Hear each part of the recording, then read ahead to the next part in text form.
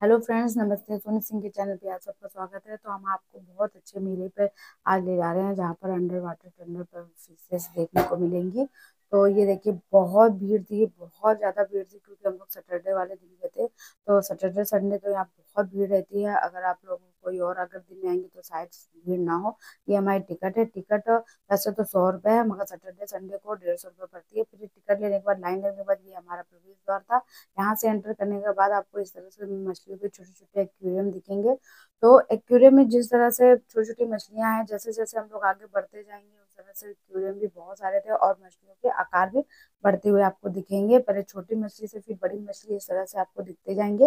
ये देखिए, और मछलियाँ भी बहुत सुंदर थी कलरफुल थी अलग अलग कलरफुल जो आपने नहीं देखी होंगी, उस तरह की मछलियाँ थी। बहुत तरह की मछलियाँ आपको देखने को मिलेंगी।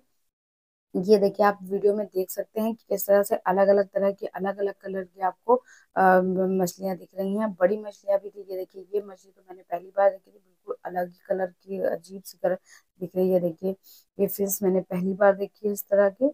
और फिर इसके बाद धीमे धीमे जब आगे ऐसी एक्वेरियम को पार करते जाएँगे आप धीमे धीमे फिर उसके बाद आपको मिलता है ये अंडर वाटर टनल। देखिए, ये है एक्वेरियम पूरा देखने के बाद आपको ये अंडर वाटर टनल शुरू होता है, यहाँ पर भी भीड़ आप देख सकते हैं कितनी भीड़ है। तो आप कभी भी सैटरडे संडे बच जाइए क्योंकि भीड़ बहुत होती है।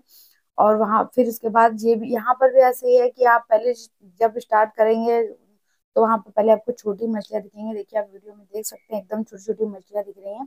तो यहाँ पर छोटी छोटी मछलियों से स्टार्ट होता है। फिर जैसे जैसे आप आगे बढ़ते जाएँगे, आपको धीमे धीमे मछलियों के आकार दिखते जाएँगे। देखिए, अब थोड़ी बड़ी मछलियाँ आ गई हैं। आपको वैसे कलरफुल बहुत सारी कलरफुल अलग तरह की, हर तरह की डिज़ाइन की मछलियाँ और आकार में छोटी से लेकर धीमे धीमे बड़ी बड़ी बड़ी करते हुए मछलियाँ दिखेंगी। फिर लास्ट में सबसे बड़ी मछली आ जाती है। ये लास्ट ये लास्ट है टनल का। तो यहाँ से निकलते ही हम लोग मेले में सीधे पहुँच जाएँगे। जब टनल से बाहर निकलेंगे तो आप सीधे मेले में एंटर कर जाएँगे। इस तरह से मेले में भी आप देख सकते हैं, बहुत भीड़ लगी है। देखिए, बहुत भीड़ है उस दिन। तो आप जब भी भी ये मेले में जाए तो बच्चों को लेके जाए, क्योंकि बच्चों को तो फ़िश देखना, मेले घूमना बहुत पसंद है। तो यहाँ पर बच्चों को ज़रूर लाइए, क्योंकि बच्चे देख के मेले और फ़िश देख के बहुत पसंद है।